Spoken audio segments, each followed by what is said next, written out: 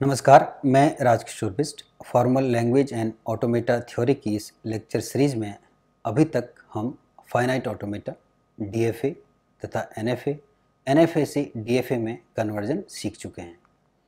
आज के इस लेक्चर में हम फाइनाइट ऑटोमेटा द्वारा एक्सेप्ट की जाने वाली लैंग्वेजेस के बारे में सीखेंगे। आइए इस लेक्चर के लर्निंग ऑब्जेक्टिव्स देखते हैं। सर्वप्रथम हम फाइनाइट ऑटोमेटा द्वारा एक्सेप्ट की जाने वाली लैंग्वेजेस के बारे में सीखेंगे। फाइनाइट ऑटोमेटा की सहायता से रेगुलर लैंग्वेजेस की ग्रामर लिखना सीखेंगे। रेगुलर एक्सप्रेशंस डिफाइन करना सीखेंगे। रेगुलर लैंग्वेजेस की क्लोजर प्रॉपर्टीज़ के बारे में जानेंगे तथा नॉन रेगुलर लैंग्वेजेस की पहचान करना सीखेंगे। रेगुलर लैंग्वेजेज कोई लैंग्वेज रेगुलर कहलाती है। यदि इसके लिए कोई एक डिटर्मिनिस्टिक फाइनाइट ऑटोमेटन एम हो, जो कि लैंग्वेज एल को एक्सेप्ट करती हो, अर्थात L equal to L M किसी लैंग्वेज एल को रेगुलर दिखाने के लिए हमें एक डी एफ़ ए बनाने की आवश्यकता होती है, जो कि लैंग्वेज एल को एक्सेप्ट कर सके। क्योंकि हर एक एन एफ़ ए के लिए एक इक्विवेलेंट डी एफ़ ए बनाई जा सकती है अतः किसी लैंग्वेज के लिए एन बनाने पर भी हम उसको रेगुलर कह सकते हैं। रेगुलर ग्रामर रेगुलर लैंग्वेजेज को ग्रामर के माध्यम से भी वर्णित किया जा सकता है। कोई grammar G V T S P right linear कहलाती है, यदि उसमें प्रोडक्शंस निम्न प्रकार से हों। A replaced by X B A replaced by X जहाँ A comma B belongs to V तथा X belongs to T star. कोई grammar G V T S P left linear कहलाती है। यदि उसमें प्रोडक्शंस निम्न प्रकार से हों A replaced by B X A replaced by X जहाँ ए कॉमा बी वी के मेंबर तथा एक्स टी स्टार का एलिमेंट हो। कोई ग्रामर रेगुलर कहलाती है।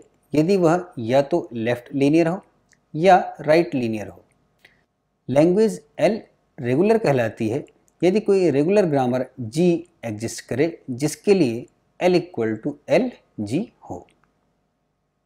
Writing regular grammar through D F A यदि एल कोई रेगुलर लैंग्वेज हो तो एक डी एफ़ ए एग्जिस्ट करती है, जो कि एल को एक्सेप्ट करती है।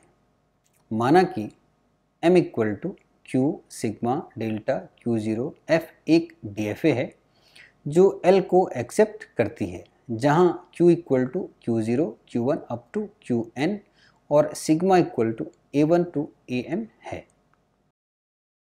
Grammar G equal to V T S P को लिखने के लिए हम V equal to Q zero Q one up to Q N S equal to Q zero तथा sigma equal to A one up to A M लेते हैं।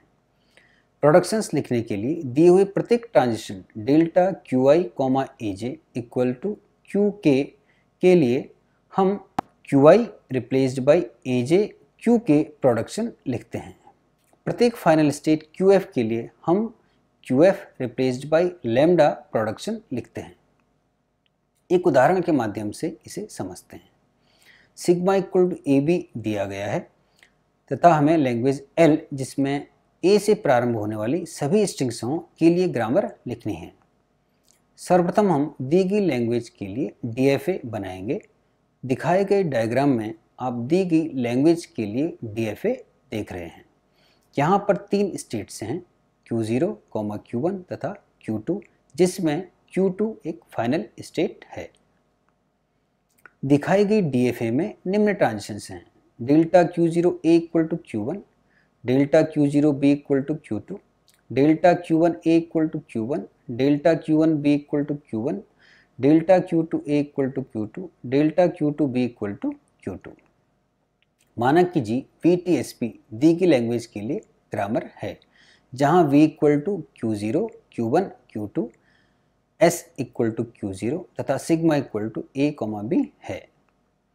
अब हम प्रत्येक ट्रांजिशन के लिए ग्रामर के प्रोडक्शंस लिखेंगे, क्योंकि transition delta Q I A J equal to Q K के लिए हम production Q I replaced by A J Q K लिखते हैं।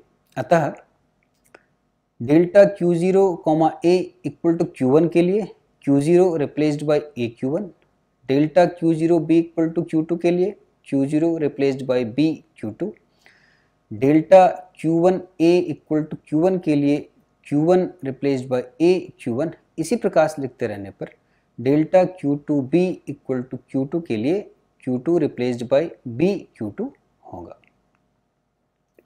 फाइनल स्टेट क्यू वन के लिए हम Q one replaced by lambda भी प्रोडक्शंस में लिखेंगे। क्योंकि क्यू टू एक डेड स्टेट है, यहाँ से किसी भी स्ट्रिंग को एक्सेप्ट नहीं किया जा सकता है।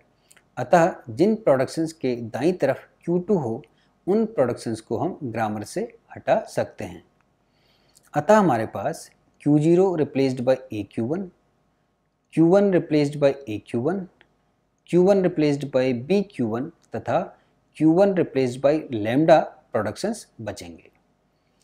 Q0 को S से तथा Q1 को A से बदलने पर V equal to S comma A होगा तथा निम्न प्रोडक्शन हमारे पास होंगे। A S replace by small A capital A capital A replaced by small A capital A capital A replaced by small B capital A capital A replaced by lambda इस प्रकार से हम किसी भी दी हुई रेगुलर लैंग्वेज के लिए grammar लिख सकते हैं। यद्यपि यह ज़रूरी नहीं है कि ग्रामर लिखने के लिए डीएफए बनाई जाए, परंतु डीएफए के माध्यम से हम सही ग्रामर आसान तरीके से बना सकते हैं। एनएफए के माध्यम से भी ग्रामर इसी तरीके से लिखी जा सकती है। Regular expressions. रेगुलर एक्सप्रेशन एक नोटेशन है, जो कि रेगुलर लैंग्वेजेज को अभिव्यक्त करने का एक वैकल्पिक तरीका प्रदान करता है। इस नोटेशन पे हम अल्फ़ाबेट में दिए गए सिंबल्स तथा ऑपरेटर्स प्लस डॉट तथा स्टार का प्रयोग करते हैं। यदि सिग्मा कोई अल्फ़ाबेट हो तो सिग्मा में आधारित रेगुलर एक्सप्रेशन सिंबल्स की एक सीक्वेंस है जो कि बताए गए निम्न तरीकों से प्राप्त होती है। पहला, यदि ए सिग्मा का कोई एलिमेंट हो तो ए भी एक रेगुलर एक्सप्रेशन होगा तथा यह language L A equal to A को रिप्रेजेंट करेगा। अर्थात अल्फ़ाबेट का हर एक लेटर अथवा सिंबल एक रेगुलर एक्सप्रेशन होगा तथा इसकी लैंग्वेज वह अकेला लेटर अथवा सिंबल होगा।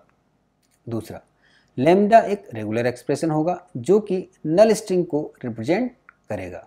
अर्थात लेमडा के द्वारा रिप्रेजेंट की जाने वाली language L lambda equal to lambda होगी। तीसरा फाइव एक रेगुलर एक्सप्रेशन होगा जो कि एम सेट को रिप्रेजेंट करेगा। अर्थात फाइव के द्वारा रिप्रेजेंट की जाने वाली language L five equal to five होगी।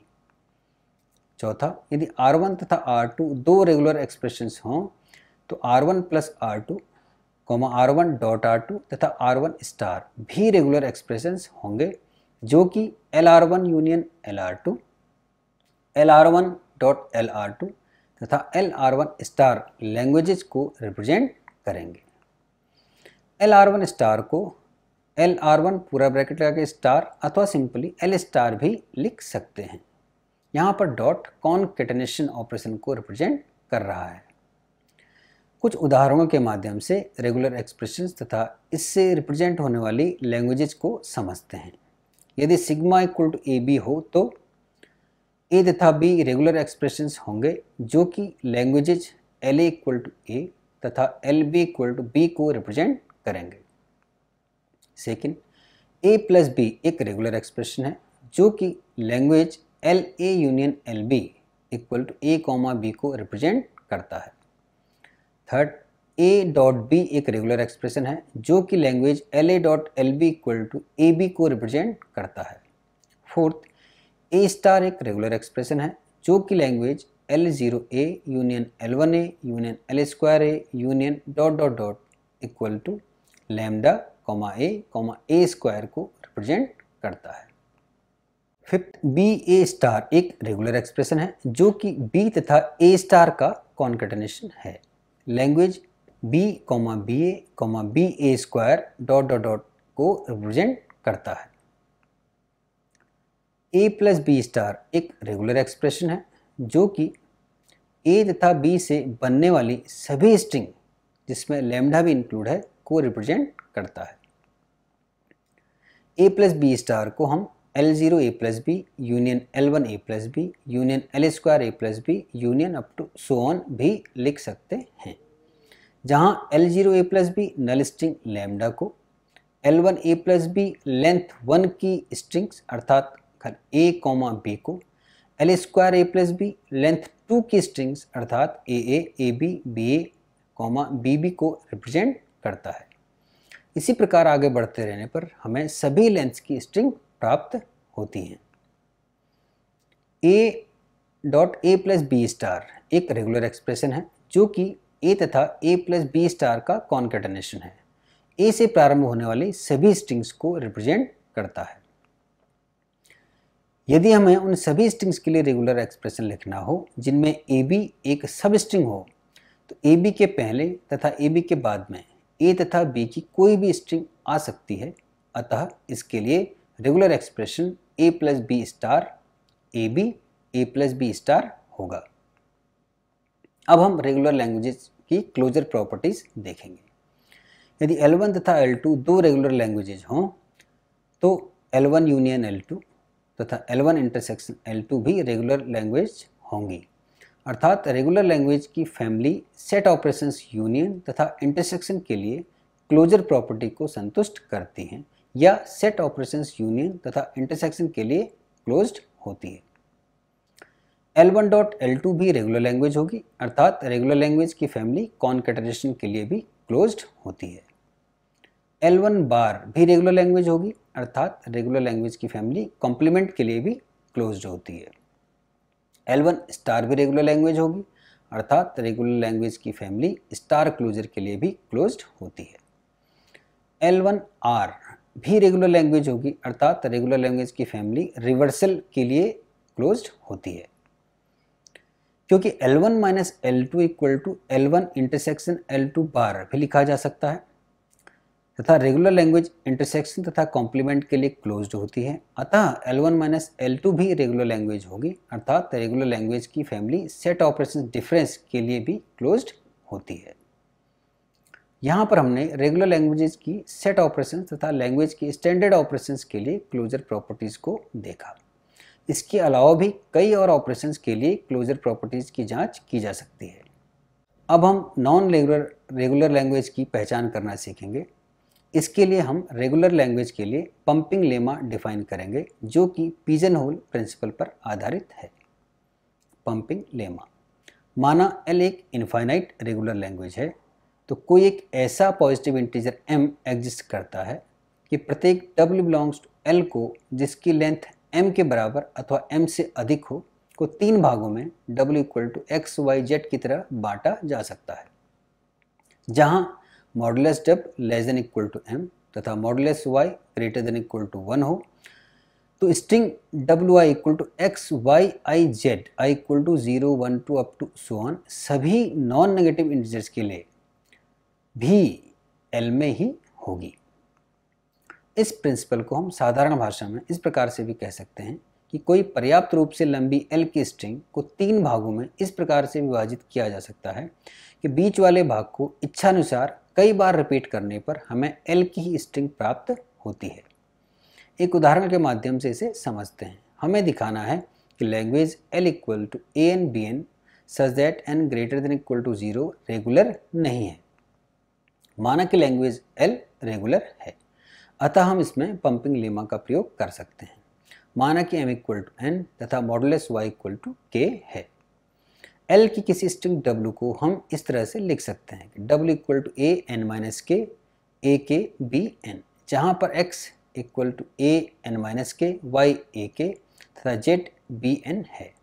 यहाँ पर modulus dub equal to twice N greater than equal to M modulus X Y equal to N less than equal to M तथा modulus Y equal to K greater than equal to one है। अतः pumping lemma के अनुसार X Y I Z I की सभी non negative values के लिए L की एक स्ट्रिंग होनी चाहिए।